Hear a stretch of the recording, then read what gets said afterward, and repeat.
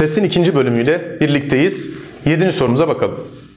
Bir dış açısı 12 derece olan düzgün çokgenin. Hemen size ne hatırlatıyor? Kenar sayısını bulabilirim. Nasıldı? Bir dış açı. Ben daha soruyu okumadan hemen aklıma geleni yazıyorum. Çünkü önemli.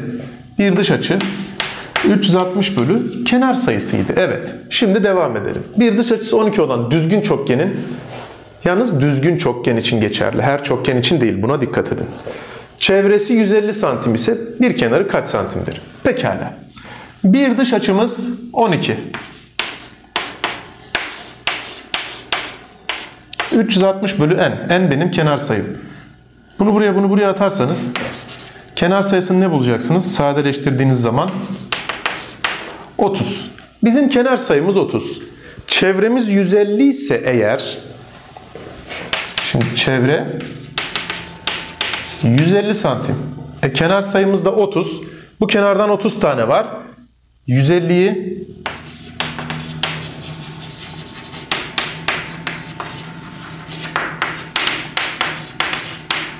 30'a bölerseniz her bir kenarınız 5 santim gelir. Neden?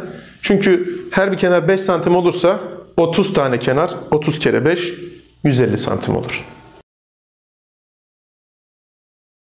8. soru.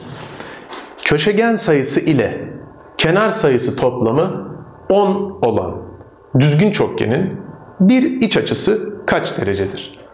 Şimdi biz kenar sayısına n diyelim. Kenar sayısıyla köşegen sayısını toplayacaksınız. Kenar sayısı n artı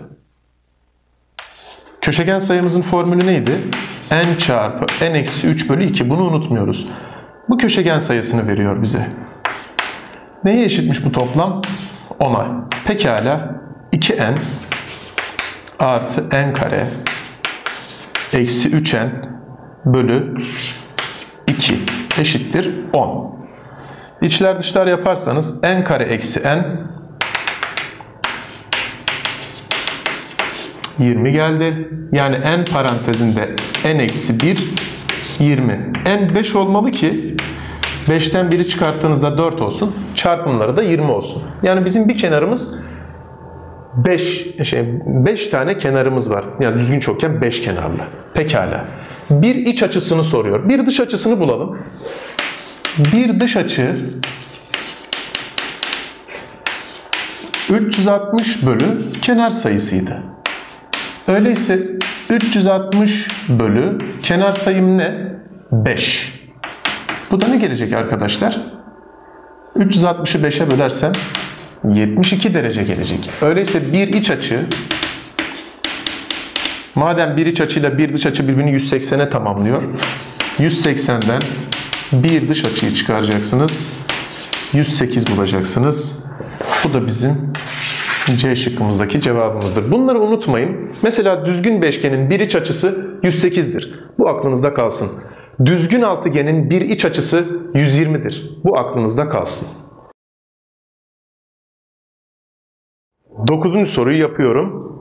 ABCDE bir düzgün beşgen, FAB bir eşkenar üçgen. Öyleyse aradaki açı kaç derecedir?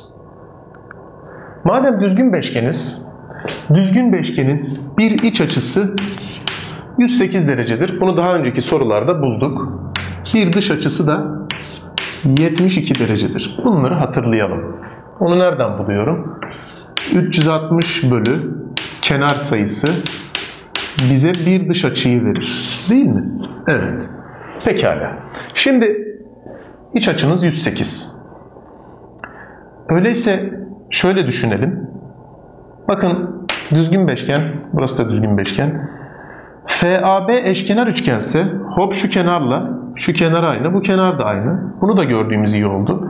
Madem eşkenar üçgen, eşkenar üçgende bir iç açı 60 derecedir. Tamam bunu da gördüğümüz iyi oldu. Şimdi dikkat edelim. Bir düzgün beşgenin bir iç açısı 108 derece mi? Evet. O zaman burası da 108 olmalı. 60 buradaysa buraya 48 kalacak. Şimdi bu kısım 108. Dikkat edin. İkiz kenarlık var. Öyleyse bu ikisinin toplamı 72 olmalı. 36 buraya düşer. 36 da buraya düşer. Eşkenar üçgen olduğu için O açının kaç derece olması gerekiyor? 60. Niye? Bu eşkenar üçgen. Bir iç açısı 60 derece olmalı. Alfa artı 36 60 ise alfa 24 derecedir. Cevabım da B şıkkıdır. 10. sorumuzu yapalım. ABCDE bir düzgün beşgen. Düzgün beşgen deyince hemen aklınıza bir iç açısının 108, bir dış açısının 72 derece olduğu geliyor. Güzel. Alfa 10, 38. Öyleyse D, F, B yani alfa kaç derecedir? Birlikte yapalım. Madem şekil bir düzgün beşgen, düzgün beşgenin bir iç açısı 108 derecedir. Öyleyse bu da bir iç açı, burada 108 derece. Artık hiçbir şey yazmıyorum. Neden? Çünkü bakın şuraya dikkat edin. Hatırlarsanız ta üçgende ve doğruda açılar konusunda böyle bir şekil gördüğümüzde nasıl yapıyorduk? Bunun, bunun ve bunun toplamı bize burayı veriyordu. Yani alfa artı 10 artı 38 derece eşittir 108 derece. Şurası 48. Atarsanız buraya alfanın 60 olduğunu görürüz. Cevabımız da E şıkkı olur. 11. soruyu yapıyorum. Bir iç açısı 160 derece olan düzgün çokgen kaç kenarlıdır? Ya bir iç açısı 160 derece ise bir dış açısı evet 20 derecedir. Ya iç açısı 160 ise bir dış açı 180'den 160'ı çıkarınca hani ikisi birbirini 180'e tamamlıyor ya iç açıyla dış açı.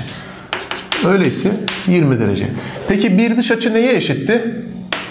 Bir dış açı 360 bölü kenar sayısına eşitti.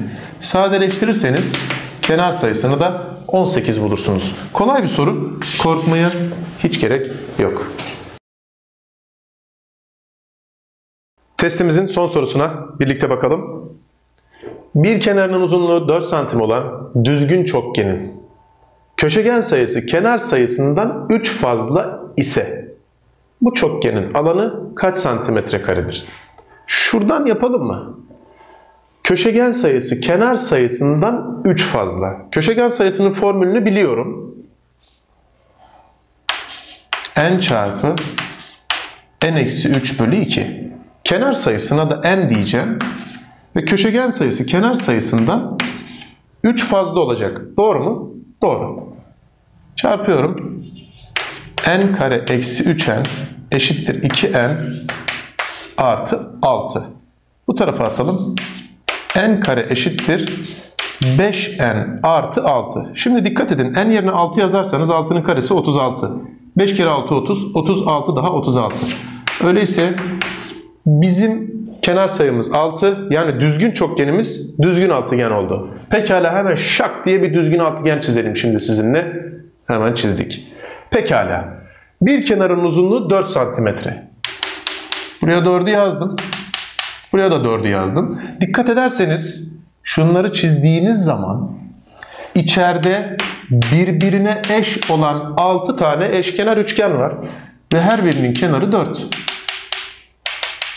Bize diyor ki bu şeklin toplam alanı nedir? E öyleyse ben bir eşkenar üçgenin alanını bulursam ve bundan 6 tane olduğu için 6 ile çarparsam düzgün altıgenin alanını bulmuş olurum. Pekala. Yapıyorum. Alan mesela hemen birini bulalım. Diyelim ki şu kısma ne diyelim? Alan A, B, N. Ya da B, A, N. Problem değil. B, A, N üçgeninin alanı. Eşkenar üçgenim ve bir kenarım 4. Eşkenar üçgenin alanı bir kenarın karesiyle kök 3'ün çarpımının 4'e oranıdır. Dolayısıyla bir eşkenar üçgenin alanı 4 kök 3 santimetre kare geldi. Bundan kaç tane var? 6 tane var. Öyleyse alan ABCDEF 6 tane eşkenar üçgen bu da 24 kök 3 santimetre kare yapar. Cevabım E şıkkıdır. Daha sonraki testlerde görüşmek üzere.